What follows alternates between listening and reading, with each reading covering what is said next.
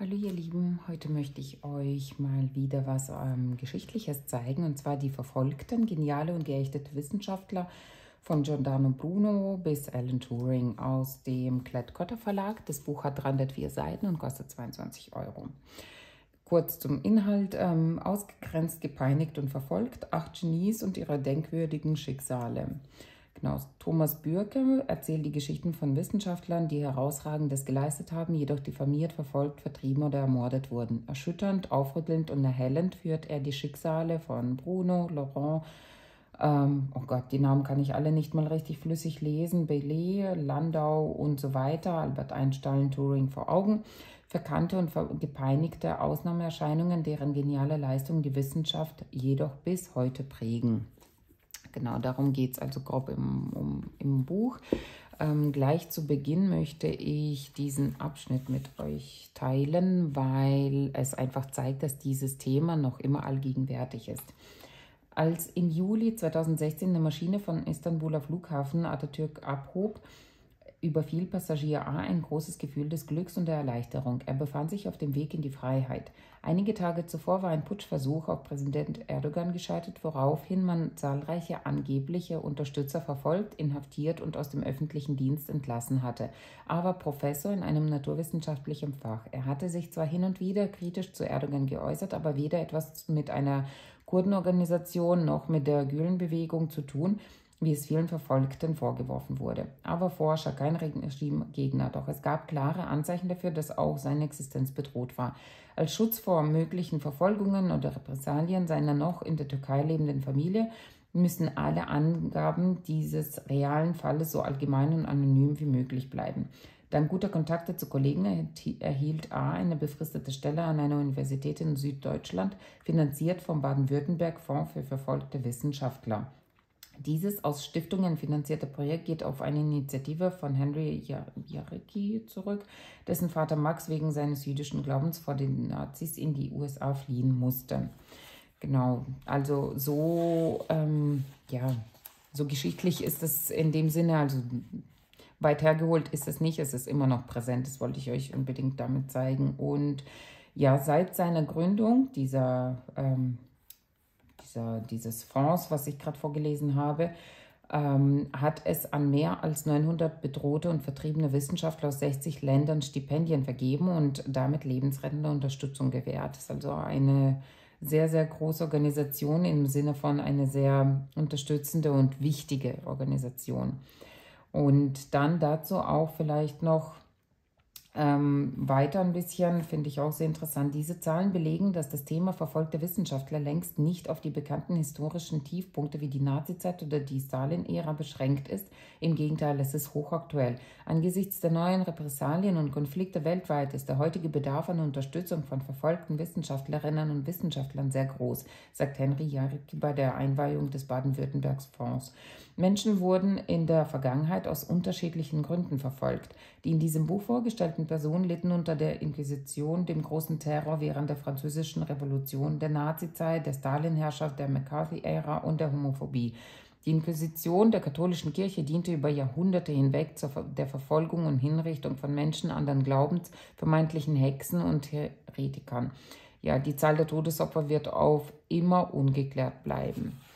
Genau, da geht es auch viel um die Zahlen am Anfang und ähm, dann beginnt es auch schon mit den vorgestellten Personen, wie gesagt, hier der Bruno. Es gibt unendlich viele Erden und unzählige Sonnen, das heißt, man hat eine Zeitangabe und so die Kernaussage und hier grob zusammengefasst, was diesen Menschen sozusagen, wofür er stand. Das heißt, er war ein Freigeist, ein Philosoph, der für das kopernikanische Weltbild eintrat und es sogar noch erweiterte, indem er annahm, das Universum sei unendlich ausgedehnt und umfasse unzählige bewohnte Planeten. Er wurde von der Inquisition zum Tode verurteilt und starb auf dem Scheiterhaufen. Ja, das ist einfach, es ist merkwürdig, das einfach so runterzulesen, aber einfach nur schrecklich, wenn man die Geschichte dann dazu liest. Ähm, hier kurz zu Bruno. Ähm, dann vollzieht Bruno den letzten logischen Schritt von der Unendlichkeit des Alls zur unendlichen Zahl von Sternen und Planeten So nur rühmen die Himmel die Herrscher, Herrlichkeit Gottes. So nur offenbart sich die Größe seines Reiches. Nicht auf einem, auf unzähligen Thronen strahlt seine Majestät. Nicht auf einer Erde, auf einer Welt, auf zehnmal Hunderttausenden, auf unzähligen. Außer Frage schien es ihm zu stehen, dass diese Welten bewohnt sind. Es ist geradezu albern zu glauben, es gebe keine anderen Lebewesen, keine anderen Sinne, keine anderen Denkvermögen als gerade jene, die sich unseren Sinnen darbieten. Eine unerhörte Behauptung. Ja, er hatte also damals eine absolut andere Ansicht. Das war natürlich für ihn nicht gerade gut.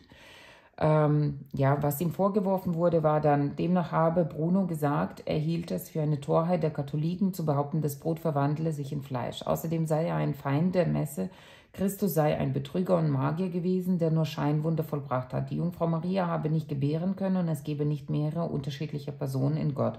Und vor allem habe er behauptet, es gebe unzählige Welten.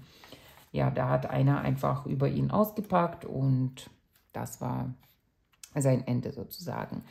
Genau, es gibt wie gesagt einige Wissenschaftler, hier insgesamt acht, die vorgestellt werden. Hier zum Beispiel Alan Turing, ähm, falls es für einige von euch ein Begriff ist.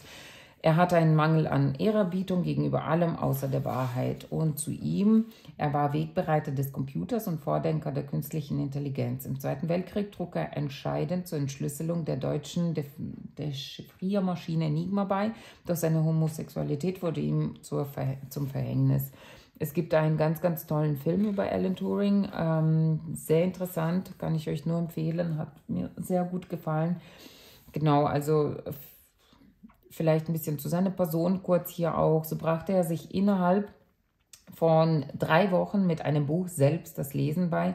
Genial war, in das nicht schon gar, war er in das nicht schon gar nicht in Mathematik.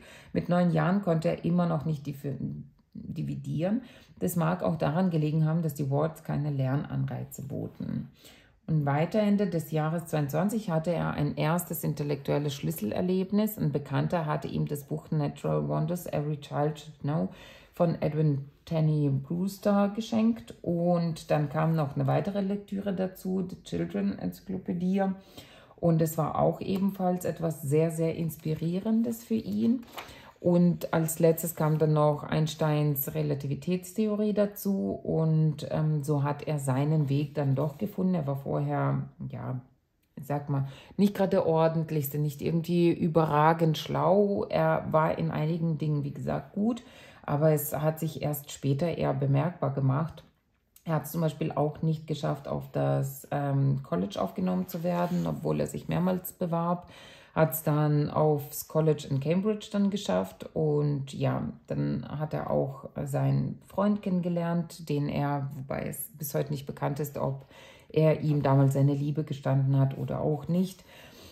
Ähm, ja, das Schicksal meinte es einfach zu dieser Zeit nicht gut mit ihm und ähm, er hat Wahnsinniges vollbracht wie gesagt, er, war ein, ein, er hat eine entscheidende Rolle beim Zweiten Weltkrieg gespielt, ähm, bei der Entschlüsselung der Enigma eben, bei dieser Chiffriermaschine.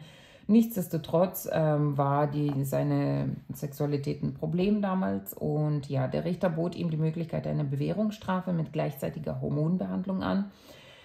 Ähm, Turing akzeptierte das Urteil. Er hat dann diese schreckliche Therapie gemacht, ähm, hat es aber nicht gepackt und ja, hat Suizid begangen, ähm, weil er einfach diese, diese Therapie ist halt auch dafür bekannt, dass sie Depressionen ähm, hervorruft und viele, viele andere Nebenwirkungen. Unter anderem, dass den Männern Brüste wachsen und ja, man tut auch geistig abbauen und das, damit kam er einfach nicht mehr klar.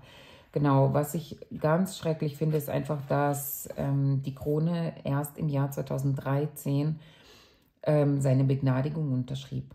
So viele Jahre hat es gebraucht, dass sie zugegeben haben, dass es ein Fehler war. Und ja, schrecklich, einfach schrecklich, muss ich sagen. Im Jahr 2021 gab es dann ähm, die letzte sozusagen große Ehre für Turing ähm, und zwar mit der Herausgabe einer neuen britischen 50-Pfund-Note mit seinem Porträt. Davon hat er jetzt nichts mehr natürlich, aber immerhin wissen die Menschen vielleicht so, dass es ihn gab und was er für eine wichtige Rolle gespielt hat, hoffentlich. Genau, also ähm, in diesem Buch lernt man neben dem Leben dieser interessanten und sehr wichtigen Persönlichkeiten und was sie geleistet und bewegt haben oder über ihren Mut und ihre Stärke zu dieser Zeit damals ähm, ja auch eben sehr viel zur Zeit an sich, wie die Menschen damals gelebt haben, wie sie gewisse Dinge sahen, wie sie andere behandelten, welche Ansichten man allgemein vertrat und vor allem welchen Einfluss unter anderem eben die Kirche zur damaligen Zeit hatte wirklich spannend und empfehlenswert, wenn auch mit ähm, wirklich zahlreichen Fakten und Namen und Zahlen bespickt, die man sich sicherlich nicht merken wird, so ging es mir zumindest, was aber auch keine große Rolle spielt. Es ging um die Geschichte, es ging darum, was die Menschen, ähm, ja, wofür sie standen, wie die Zeit war, was sie bewegt haben. Sehr, sehr interessant für alle, die sich einfach für Geschichte, für Wissenschaft interessieren. Auf jeden Fall empfehlenswert. Den Link dazu gibt es wie immer in der Infobox. Wenn euch das Video gefallen hat, lasst mir gerne einen Daumen hoch, abonniert meinen Kanal und schaut auch gerne meine weiteren Videos an. Macht's gut!